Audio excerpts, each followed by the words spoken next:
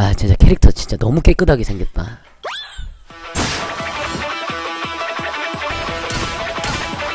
자, 이제 스킬이죠. 전사 스킬.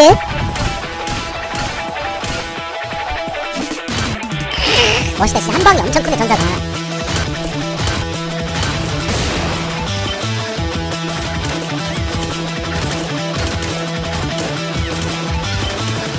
야, 여기 궁수가 왜 이렇게 좋아 보이는 이유가 뭐냐?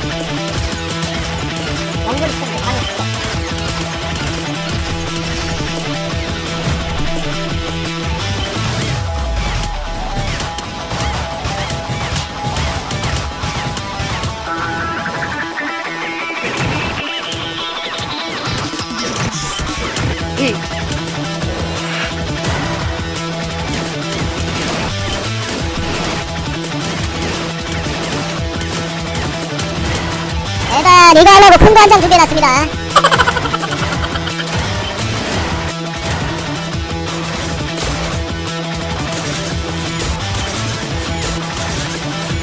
기술 다 멋있는 거 봐라.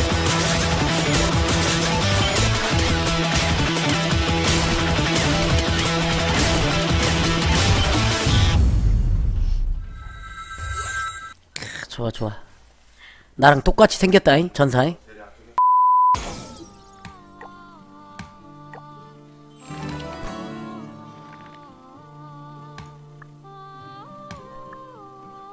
전직을 하러 가보게.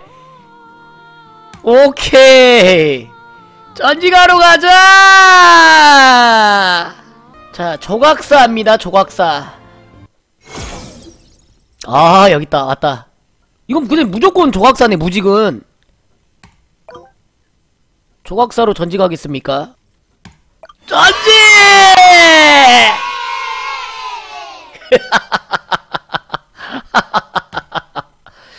그렇지.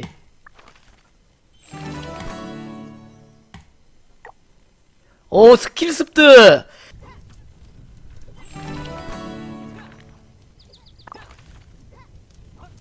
오 환영검 스킬. 아 스킬을 계속 주네. 이게 바로 습득이 되구나. 물리공격력 180%의 단일 공격을 합니다.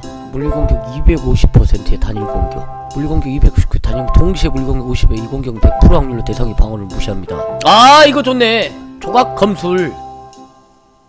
어 야 바람 골렘의 스킬도 또 습득을 했습니다. 또 배웠습니다. 어 드디어 제가 이제 조각사가 됐습니다.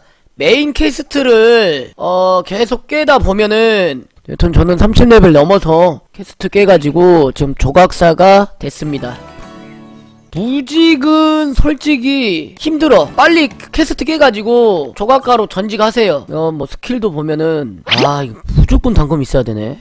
얘는 무조건 업데이트를 해야 되네. 보유 스킬로. 오케이 오케이.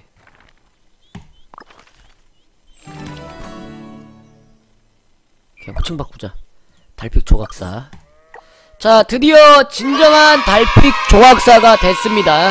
어 제가 이거 조각사를 해보니까 조각사를 해서 여기 그 스킬을 좀 읽어보니까 이제 좀 이해가 가요. 여러분들 이거 보유 스킬북은 이거 스킬을 업데이트 하는데 쓰는 건데 업데이트 해야 될 스킬에만 쓰시면 됩니다. 조각사 같은 경우는 조각 소환술 이거 바위 골렘 이거 뽑는 거 이거는 무조건 업데이트를 해야 되고요. 이거 무조건 이거 해야 되구나. 조각 소환술사 등간에 읽어보시고 이거 좋은 기술들이 너무 많은 것 같아요 지금. 월광새도 이거 좋네. 물리공격 590%의 범위공격. 아 이거 재밌는 기술들 너무 많다 이거. 퀘스트를 완료하면 스킬은 다 배울 수가 있네요. 제가 이거 조각사 무직이기 전에 안 좋을 줄 알았는데 이 조각사 되니까 조각사가 주인공이 맞는 것 같아요